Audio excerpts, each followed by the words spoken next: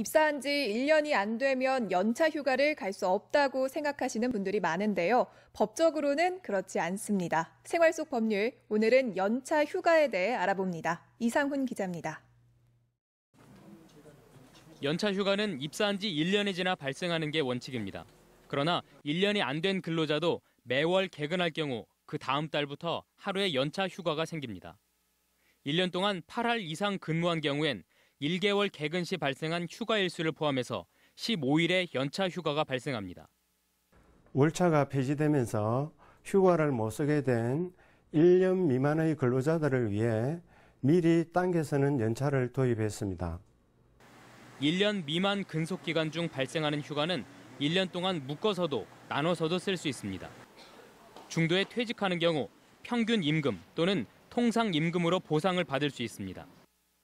매월 1일씩 발생하는 휴가를 미리 사용한 경우 15일에서 사용한 휴가 일수만큼 공제하고 사용할 수 있습니다.